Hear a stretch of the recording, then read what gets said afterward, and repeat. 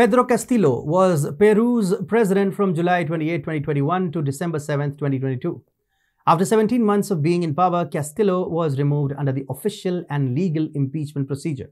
The Western media covered the episode painting Pedro Castillo as the evil leader who attempted coup, but they are far from the truth. The whole episode is not only a clear example of how the US has jeopardized Peru's democracy and disrespected its people and how it continues to strip Latin American countries of their sovereignty. Hi and welcome to TFI Global, the foreign affairs and geopolitical analysis arm of the TFI Media Group. I'm your host Atul Mishra. Let's begin. Pedro Castillo, farmer and teacher, was largely unknown in national politics until he managed to pull out unexpected victory in both the first and second rounds of the Peruvian presidential elections. Castillo defeated right-wing rival Keiko Fujimori, daughter of the late dictator of Peru, Alberto Fujimori, who claimed fraud. Castillo's victory was officially declared after six weeks.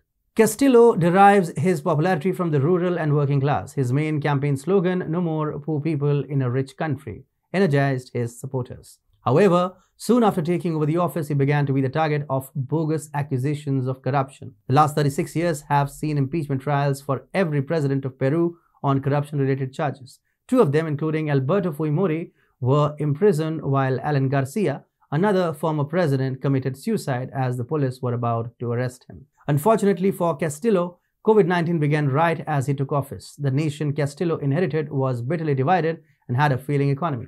Millions of Peruvians lost their jobs during the two years when the pandemic was active.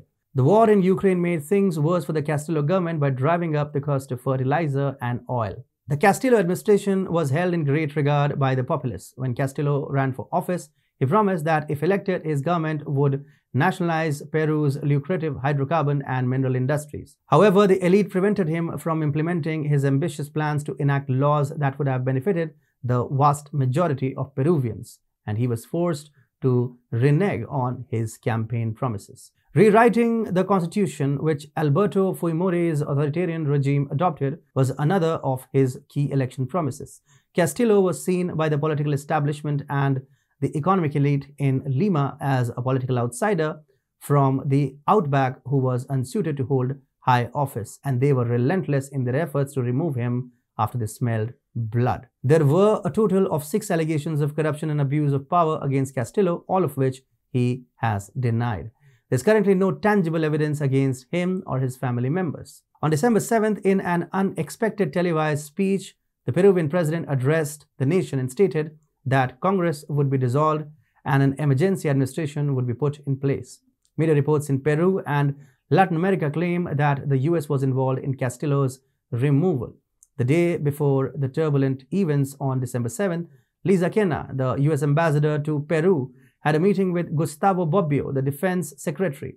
Kenna promptly criticized Castillo's decision to criticize Congress in a tweet disregarding diplomatic protocol. Within hours, the military and police leadership in Peru released a unified statement pledging to defend the constitutional order and calling on Congress to swiftly impeach the president and issue an arrest warrant.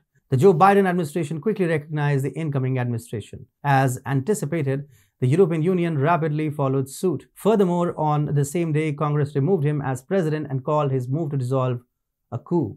According to Eduardo Gamarra, a professor of political science and international relations at Florida International University, Peru's Congress can remove the president and the president can dissolve the Congress. So technically, it is not a coup. He was arrested and is in prison now. Castillo acted as his congressional adversaries prepared to make a third attempt to have him removed from office. Two early attempts to impeach were already taken. The media, both domestic and Western, has been quick to spin a story that justifies the takeover and Castillo's successor's leadership, even using it as a chance to restore faith in Peru's institutions. For example, the New Yorker called Castillo's administration the world's shortest lived dictatorship, while declaring that the rule of law was strong enough to stop a single desperate man.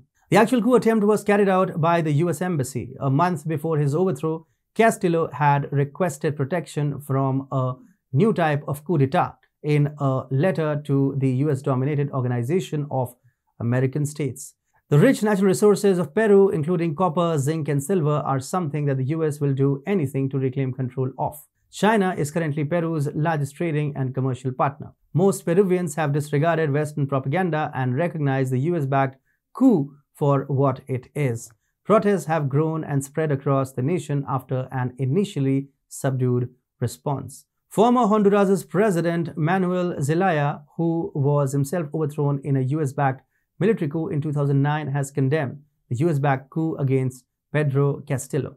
Bolivia's former president Evo, who was overthrown in a US backed 2019 coup, said the coup shows yet again that the Peruvian oligarchy and the US empire do not allow leaders from unions and indigenous nations to rise to the government to work for the people. Bolivian President Arce and Mexican President AMLO have also criticized the US backed coup against Pedro Castillo. The coup against Pedro Castillo is a perfect example of how the US continuously violates sovereignty in Latin American countries to plunder their resources.